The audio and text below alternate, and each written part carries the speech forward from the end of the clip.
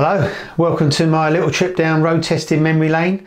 Another Q&A video today. Uh, so thanks very much for sending in all your questions and comments. Much appreciated. Um, I've been on my travels.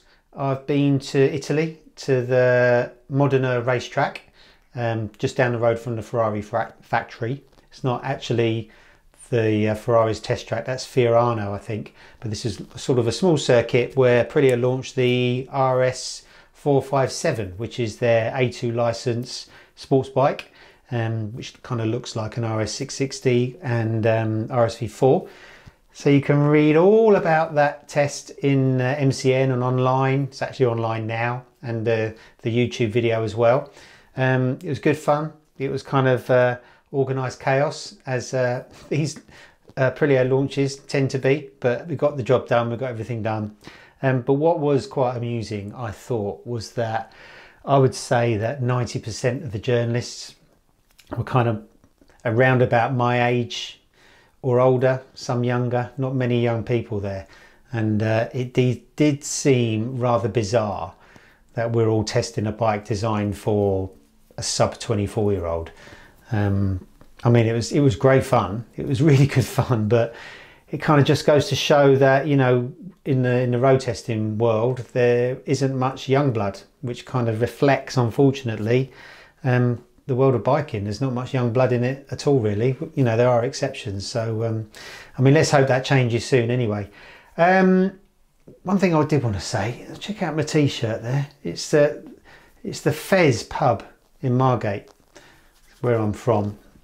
Down in margate I bought this t-shirt just before Christmas and um, uh, James White, who's uh, one of uh, one of our viewers here, decided he fancied this t-shirt and went and got one himself. But he's a Kiwi living in Portland, USA. So um, not only does this video travel well, so do uh, Fez t-shirts. So if you're ever in Margate, give Fez a go. It's, it's, it's, an amazing little place. It's like a really small bar loads of um, like 50s and 60s memorabilia in there.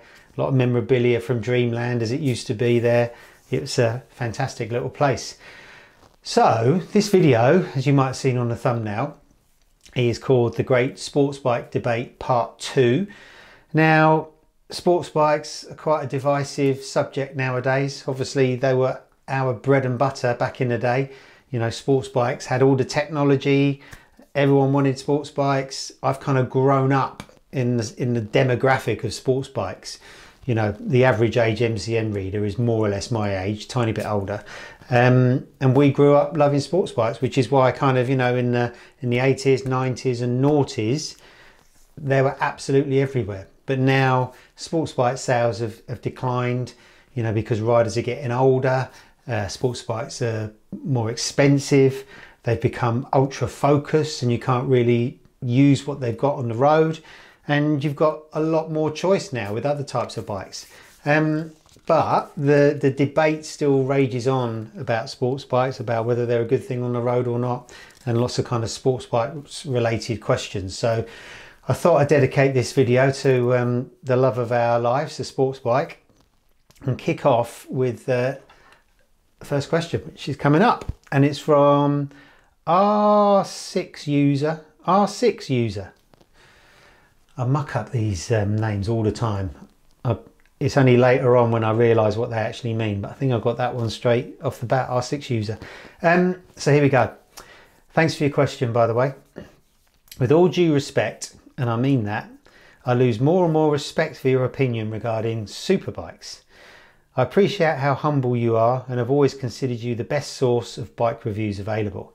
However, I'm just sick of hearing you your lack of enthusiasm for superbikes on the road. No doubt you are correct about the availability of more appropriate machines for the road with adequate performance which would make a superbike for the road obsolete.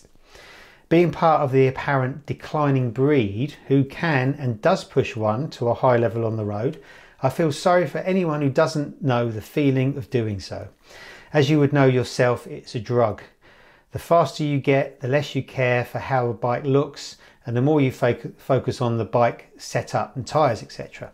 That said, naked bikes are ugly in my opinion and it is kind of nice to look at your superbike in the shed, even if it is well used and chipped up from riding the ass off other faster riders. My breed is keeping the fire lit, and just remember that when you consider to be the inevitable does happen, you're as much to blame as the rest. If you would like some assistance in giving these marvels of engineering the reviews they rightfully deserve, reach out to me. My crew would only be too happy to help out. Who knows, you may actually reminisce about a time when you had a set of balls, a fire shining bright within, and a passion to unite man and machine in a symphony of pure bliss. Not everyone wants to run around in a circle on track or ride the talk like the lazy granddaddy you have become. Uh, remember, you weren't born wise. Learning things like safer lines, trail braking, loading suspension, linear inputs, tyre pressures, suspension setup, delayed apexes didn't come from that scooter you run around on.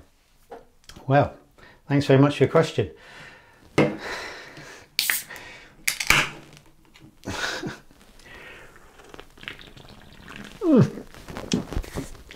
bit of two stroke in the morning. I think I need that. Right, so what I like about your uh, question is um, your passion for um, for superbikes, and I know exactly what you where you're coming from. I mean, I've been riding superbikes since I was 18 in 1988. My first bike was a big bike, was a GSXR 750J Slingshot, and I raced that. And I've kind of lived and breathed superbikes all the way through my MCN career. You know, I've had loads of superbikes as long termers. We've done countless superbike group tests.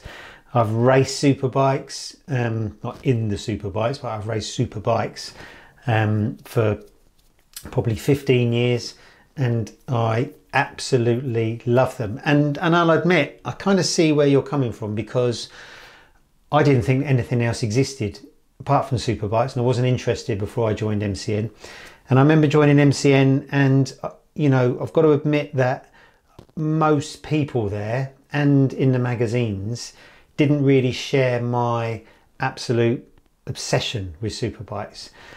And I kind of thought that these people of influence are kind of taking theirs and my toys away by not being as into them as me. And um, yeah, I kind of found that strange for a lot of years. And if, I, if I'm honest, it kind of dampened my enthusiasm for superbikes a little bit. But I think naturally, because I've ridden so many other bikes and because I'm older now, as you say, I'm a granddaddy. Um, my kind of love of superbikes on the road has has diminished. I mean, I still love them on the track, although now they're so quick. You really need to be on your game to get the best out of them. You know, we rode this, the Fireblade a few weeks ago at Portimao, and because I haven't been racing for a long time, you know, the speed, the braking power, the absolute violence of a superbike takes a little bit of time to adjust to. and for the road now, I mean, the last superbike I lived with on the road was 2019, an S1000RR. Had that for a year as a long termer and I absolutely loved it. It actually wasn't that uncomfortable. I rode it to the south of France, uh, rode it to the Nurburgring, heated grips, brilliant, um, cruise control, brilliant, not too uncomfortable. But all these things, I can see that you're not really interested in. You you love the speed of the superbike, and you know I, I can absolutely see why. And I think that one day you might think the same way as me, and you might see that there is more to life than a superbike on the road. But if you don't, it absolutely doesn't, doesn't matter because, you know, there's there's a bike for everyone. And if you absolutely love superbikes, then, you know, fill your boots. I mean, are there any points in here that I would uh, go back to? Um, well, thank you for your offer of uh, helping me test the superbikes. You'll have to uh, give me your email address. Um, uh, yeah, you may reminisce about a time when you had set of balls. Yeah, I probably do. I don't deny that. Um, not everyone wants to run around in a circle on the track. I agree with you as well. Although I would say that no matter how fast you try and ride a superbike on the road, you can't get anywhere near its limits on the road. No way. You've got to be on the track. Um, and then learning things like safer lines, trail braking, loading suspension, linear inputs, tyre pressure, suspension setup, delayed speed, apexes didn't come from the scooter you ride around on. So I guess you're referring to my T-Max, which I absolutely love. A lot of people who ride motorcycles, period, can't understand why I love um, scooters, but I absolutely love them. I think because it's such a polar opposite to the bikes I ride every day.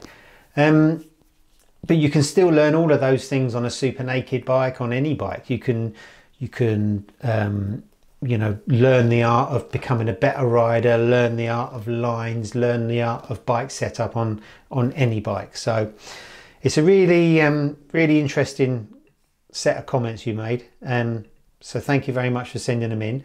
Um, but what I'd ask is is you guys what do you think? You know do you think that superbikes have still got uh, a place on the road? Um, like I say, it's divisive. I reckon a lot of people, you know, if you've got GSX-Rs and R1s and Fireblades and whatever, you will still absolutely love them. And some of you might have had a similar journey to me where they were the be all and end all, and now, you know, they don't quite hit the spot on the road. But yeah, let me know. But thanks very much for your question. So the next one is from Victor Voynier Right, so this one is about superbikes, about how despite the fact that um, people don't really buy them anymore in huge quantities, people still want to know about them. So thanks very much for your question. Hi Michael, another interesting video. So I think that was about this, the previous superbike video. Um, on the press side of things, I'm a sports bike fan and rider till I'm on the road uh, at 14 with an Aprilia RS 50. Bikes have uh, first place in my heart, but as a petrol head, I'm also interested about sports cars. I can't afford one of them, but I read some of the sports cars press. I just want to read about the tech inside them, their performances, and stare at their beautiful curves. It's just about dreaming. Knowing that this Ferrari is better than this Lamborghini is useless, but it makes me happy. And it's the same about superbikes. I can't afford a V4R and would be very embarrassed behind its bars sports bikes don't make you a fast rider, which is true. But I want to know everything about these mighty superbikes, so please keep them in the magazines. Looking forward to your next video. Cheers from Paris. Well, thank you very much for sending your question in, Victor. Um, absolutely. I mean, most superbikes now cost well over £20,000. Most of these bikes are completely out of our reach. Most of us can't physically ride them to their ability, you know, their full but isn't it nice to to read about them and, and know about them? You know i think part of being a motorcyclist you know first and foremost first and foremost most motorcycle riders are, are motorbike fans. You know some people just have them as transport but most of us, it is a passion to us. And and part of that passion and part of that interest is, is is gathering information about bikes isn't it? So you know when you talk to your mate down the pub you can say, oh, what about that new um, Panigale V4R with the wings? It's got 230 horsepower, blah, blah, blah. Well, you just don't have the same conversations about the SV650. Well, Martin Fitzgibbons would have the same thing about uh, SV650. But generally, you know, kind of more basic bikes. They're, they're interesting, they're actually fun to ride, but maybe not as kind of engaging when it comes to finding out about them in, in YouTube videos and um, and and in print. So yes, an interesting point you made. So once again, you know, do you guys you still like reading about superbikes? You know, is, is it good for the the the anorak, the the knowledge bank, or would you rather just read about bikes that are more achievable and, and more real world and more kind of relevant to what you actually do on a bike? So that would be interesting. So thanks very much for your question. right. This one's from Stefan. So about superbikes again, um, about whether they they're ever going to come back. So really enjoy the GSXR video. Thank you very much. Um, obviously an old video. I'm a fairly new rider and never really caught the sport bike bug, but recently purchased a 94 YZF 750R in a rough state, wanting to restore it and live with a piece of 90s sports bike history. Here's a question for you. Do you ever think sports bikes will make a comeback considering more and more people seem to be interested again? Thanks, love your videos. Well, thanks for your question. Um, I love your choice of bike. Uh, YZF 750R Yamaha 94. Amazing looking bike. That would have been top of the pile back in the day if it wasn't for the blade. I, I believe and of course the the 916 but you know if it weren't for those two bikes it would be the best 750 i reckon um, but yeah in, in, terms of sports bikes make, making a comeback i think they're, they're coming back in different ways um, i don't think super bikes are ever going to make a comeback kind of en masse they're just too expensive now um, manufacturers can't afford to make them affordable um, so you've got a choice now. There's there's a whole raft of middleweight sports bikes. You know things like the Suzuki GSX-8R and the CBR 650R, the R7, the RS 660, all those kind of bikes. So that's that's where the new sports bikes are coming from. Obviously, there's some super sport bikes have made a bit of a revival in the shape of the Honda CBR 600RR and the ZX6R. Rode both of those recently, and you know, when you get back on those bikes again, you realize that they're not actually as highly strung or as cramped as you remember them to be. And they're actually quite nice bikes. And compared then to like a middleweight sports bike, that's built down to a price. They're, they're different animals. They're fantastic bikes to ride. Um, but I think the other thing people are doing is what you've done is basically to to look back. You know, you can't afford a twenty thousand pound Fireblade, but you can afford a 94 YZF 750R, and I think on the road you're going to get as much as a much of a thrill out of an older super bike or sports bike as you would do a modern one. Okay, you haven't got you know the nice, nice fancy coloured dashes, you haven't got all the rider aids and all the rest of it, but you know older bikes are none the worse for for not having that. So um, that's where I think sports bikes are going. I think yeah, people are more interested again. I don't know why. I think you know the our interest goes in cycles. It was sports bikes and it was adventure bikes and it was retro bikes and it was super naked and I think maybe it's coming back around to sports bikes again, but obviously in a different way, kind of more affordable ways of getting your sports bikes kicks and, maybe not as extreme as, as they used to be where you know super bikes now have all got over 200 horsepower and they're a little bit irrelevant uh, for the road, even though they look nice. Um, but yeah, great question. Next, uh, this one is about sports bikes and ABS. So this is from Alan Davis, 3726. Hi Neevesy, why does ABS on sports bikes get such a bad rap? Rep. Um, I have a 09 Fireblade and it's my first bike with ABS. I find it extremely confidence inspiring, especially after watching an MCN video on the ABS Fireblade film when it was first released. I think I would have done that one, um, where the system was praised. I understand that on track ABS is a hindrance, but for the road I wouldn't want to go back to non-ABS. So why do many people speak about uh, speak badly about such a system? Good question. Right, so um, let's just talk about ABS on sports bikes. N not ABS as it was before, you know, that started life on BMWs probably. Um, so the first proper sports bike with ABS was your 09 Fireblade and the 09 CBR 600RR. Um, it had linked ABS, which a lot of bikes do, but it also had brake by wire. So there's no physical connection in normal braking circumstances between the lever and the brake calipers. There's hoses that go to an ABS pump, and the ABS pump decides what to put into the calipers based on wheel speeds and all those um, all the data it gathers from the bike. Um, but in an emergency situation, if uh, something fails, you get your direct connection back between the lever and the caliper as kind of a fail-safe. so, um, when that blade first came out, the ABS was actually quite good. Um, we rode the bike in Qatar.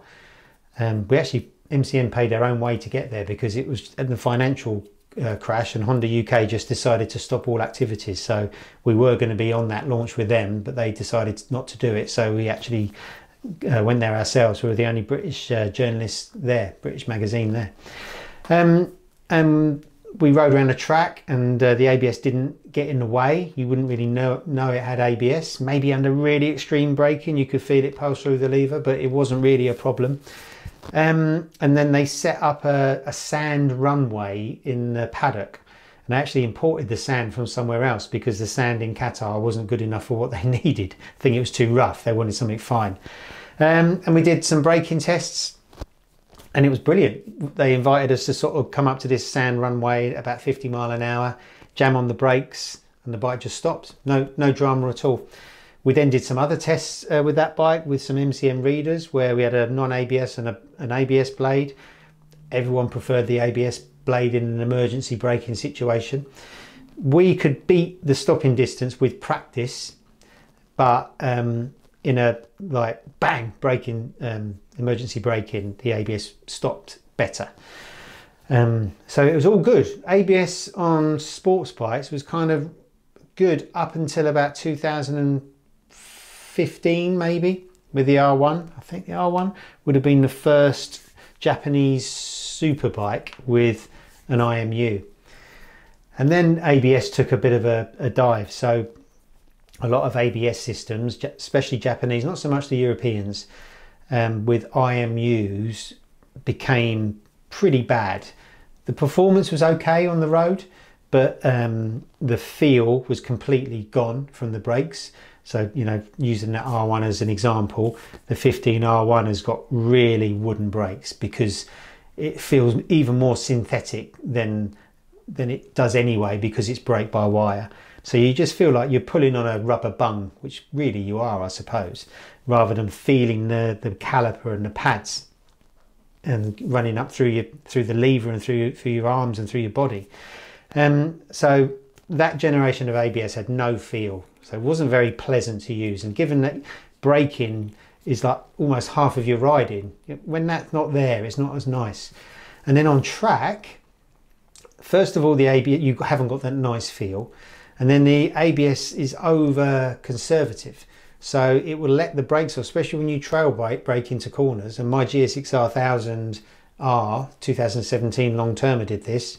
You trail brake into a corner, and because the system starts to freak out because you're losing grip and the wheel speeds are doing funny things, um, the system lets off. So you end up uh, with no brakes going into a corner.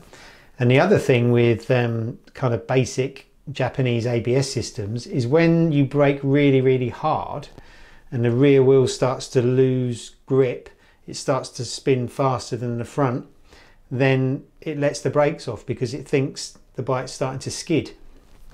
Um, so this is why a lot of um, sort of sophisticated ABS systems that you'll see on Ducatis and Triumphs and BMWs have a rear wheel lift sensor that can be switched off so the rear ABS can be deactivated. But if it hasn't got that, you know, that generation of ABS that's why it's got kind of such a, a bad rap. Um, but now they seem to have turned the corner over the last couple of years. Like the new Fireblade is a point in uh, a, a, good point because the ABS still feels a little bit wooden, but the power's there and the consistency's there. So I think ABS has turned a corner now. Um, so yeah, I think ABS on your your 09 Fireblade is really really good.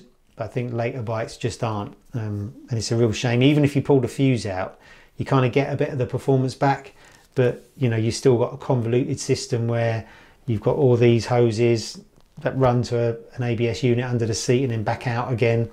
The ABS units, the early ones are about 10 kilos, so they're quite heavy as well. So that's what the whole ABS uh, problem is all about. Um, but for sort of dedicated track riding, you don't need it.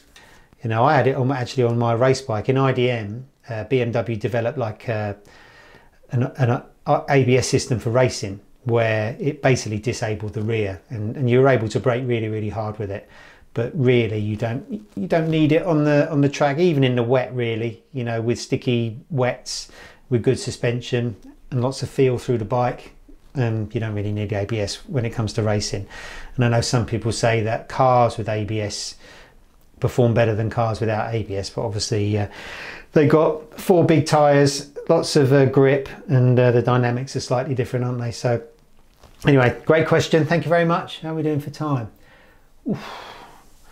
Right, this one is all about. This one is all about superbike comfort. So this is from WO388. Thanks for your question.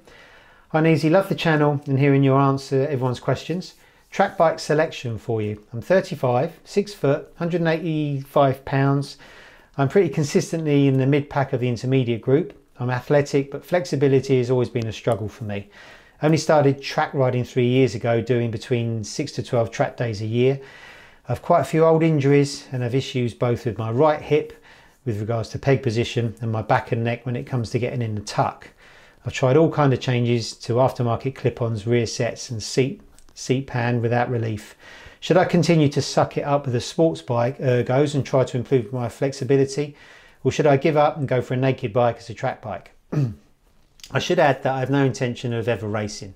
I like to track ride for fun and continue to build my skills, but it would be nice to get the bump to advanced at some point. Well, good question. So, sports bike wise, yeah, I can see exactly why you think they're cramped.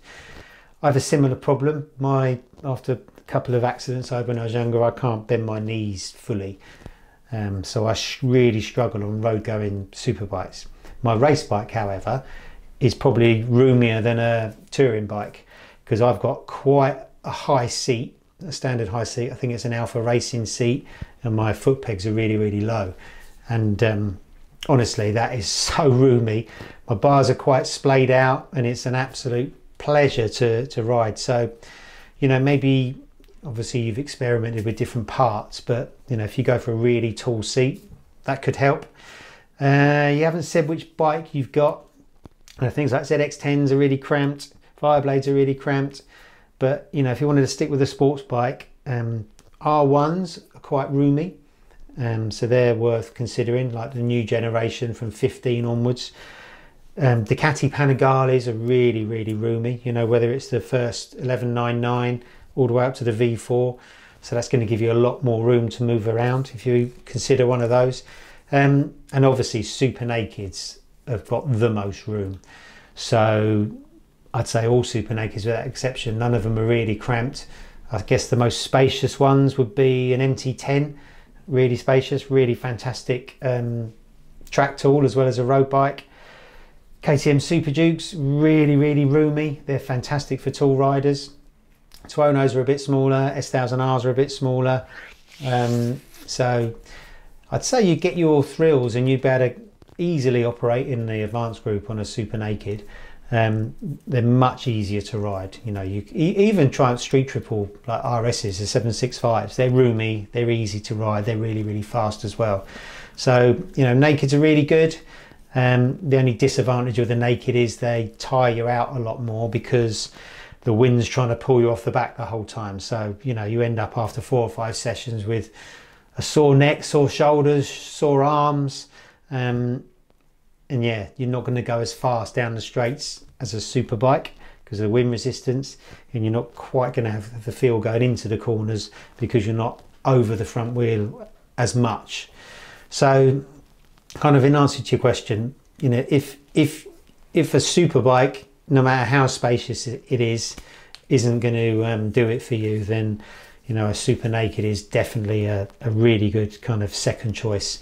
And yeah, any any one of them, whichever one you fancy, but I'd say the roomiest is a Super Duke. So uh, yeah, great question. Thank you very much.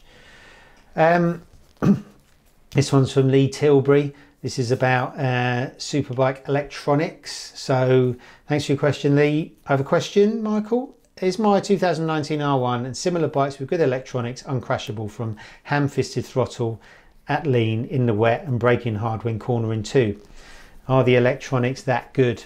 Well, no, you can still crash. You can still crash with electronics. I've crashed many times on my race bike and that's got electronics. I've seen um, lots of crashes at um, launches on bikes with electronics. So, you know, you can't you can't overcome the laws of gravity, unfortunately.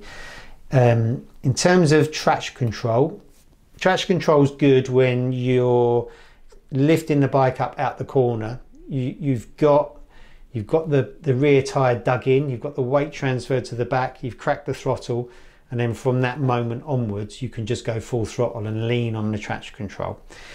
In those scenarios, it's very, very unlikely you're going to crash. But if you are full lean and just crack the throttle with no rear weight transfer and, and with the, the bike lent right over, the G-forces trying to push it out to the edge of the track on that tiny little bit of tyre, it's easy for it to go sideways and it will go sideways and it will grip whether it's got electronics or not and then high side you. if the electronics are on really, really intrusively, that won't happen. But the bike's going to feel so slow and be so slow coming out of corners. It's not worth having a super bike. So electronics aren't really going to help you there. Anti-wheelie will stop you flipping, definitely. Um, and for the most part, ABS will stop you um, it, it will stop you losing the front in a straight line. So straight line braking in the wet, it'll be impossible to, to crash on ABS. But then as soon as you start to lean, then obviously you are, you, you've got the, the, the force pushing you out of the corner. So the tire struggling to hang on um, and you haven't got a lot of grip at the front. And then the other thing that happens, probably more in MotoGP and proper racing than on the road, is when you've got a lot of lean angle and then you start to get on the throttle, the weight goes to the back of the bike, takes the weight off the front tyre and it can fold. So I would never lean on electronics to go fast around the track. Um, they're just really nice safety aids really. And when you get to a high level, World Superbike and MotoGP, electronics are used to tame stupid amounts of power and to um, prolong tyre life. Um, most of those riders can go just as fast with no electronics. It's not like they need them there or they need a safety net. They're there really to control obscene amounts of power and yeah, um, look after tyres. So I wouldn't um, just go maximum brakes, maximum throttle in corners on your R1. I'd still ride it, you know, properly and then have the electronics there in the background. And really when you're on track, you want the electronics on such a minimum setting when you're going fast. You, you just can't go fast with electronics on, on, on anything other than minimum, especially on road bikes you know when you get to racing bikes and you've got teams of data engineers analyzing your data and changing electronics here, there, and everywhere, you know, you can get away with electronics maybe helping you a little bit. But on road bikes, they're either way too intrusive or or they're hardly there. So, yeah, my advice is just to ride the bike normally. A great question. And finally, um, it's from uh, Pillowcun, Pillowcun, Pillowcun. Anyway, thanks for your question. So this one's about super nakeds again. Um, and just an opinion really. Um, superbikes are a chore at lower speeds. Therefore, the super naked, i.e. factory street fighters, um, I guess you mean aren't a bad choice for the streets. Um, for instance, the older Super Duke 1290R is a much better street bike than the new one with the RC8R frame or the Panigale V4 or the S1000S, MT10 and so on. So yeah, I guess what you're saying is, thanks for your question, um, super nakeds are just more rideable on the on the road. You know, we all know that super bikes are fast around the track, but you can have a lot better time for more of the time uh, on a super naked on the road. But maybe I'm wrong. What do you think? I know uh, I know the the chap who asked the first question probably wouldn't agree. anyway, so yeah, that is the great uh, sports bike debate. Um, let me know what you think. Um, but in the meantime, thanks very much for watching. Thanks for sticking around to the end of this quite long video. Um, and if you enjoyed it, please like and subscribe and uh, stay tuned for more like this coming very soon.